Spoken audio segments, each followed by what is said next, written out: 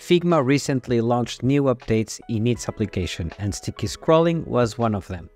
In this video, I want to show you how you can use sticky scrolling into your prototypes. It's very easy to set up, but there's a couple of things you need to know. Let's sticky these titles and dates while we are reading the post, and then we want that when the next post reaches the top, it will replace the previous one, just like we are seeing here. So this is our working file and if you want to use it, you may find the link to access it in the video description. Here we have a blog page from a website and at the top there's a menu bar, followed by the page title, and then the content body with title and date on left, and some photo and text on the right hand side. To apply scrolling to a top level frame, your content needs to extend beyond that frame. And what we want in this exercise is to apply the vertical scrolling to the content, but sticky scroll to title and dates group.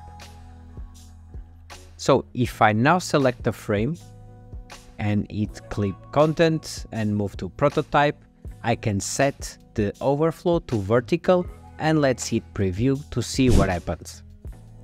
And as you can see, everything in the page is scrolling. But now I want that the menu bar stays always visible on top of the page. So let's go again to our design and select the menu bar and set the position to sticky. We can now preview and as you can see it stays on top and the rest of the information scrolls below. Now I want the title and date to be also sticky so if I set the position to sticky, if we now test, we can see that it's not fixing the position below the menu bar, that's because it's sticky to the top frame. If I go here to my layers panel and move the menu bar down below, you see that my text group is here. So we need to add this padding here on top to fix this problem. The menu bar has 62 pixels height. So let's right click in the group and select frame selection to create a new frame. Let's call it stack post and let's increase the height more 70 pixels to 125 pixels and why this value? Because we have 62 pixels from the menu bar plus 8 pixels which is the 8 point grid I like to use. So we will add 70 pixels.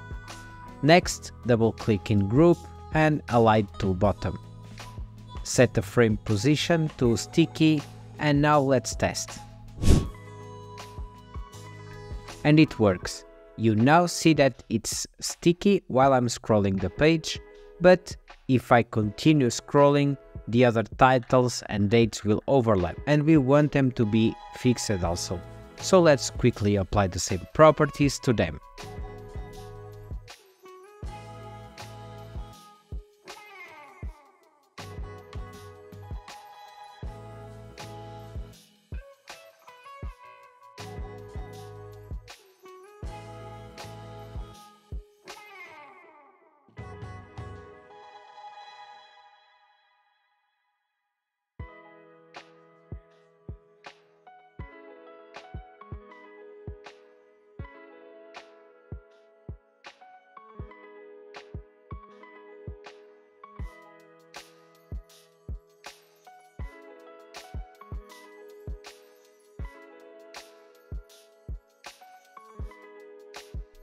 Okay, now you see that everything is sticky at the top, but all layers are on top of each other. So back to our design, we need to set constraints to each title and date to move up every time we reach the end of the post. So if I select the stack post and right click to add a frame selection, yes, another one, I know what you are thinking, rename to stack constraint and let's drag to the bottom of the post. And if we now test, if you will see that while I'm scrolling, the stack is behaving the same way as before. And now when reach the end, it will start scrolling up and be switched to the next title and date. Pretty awesome, right? So now let's just apply the same attributes to the other groups of titles.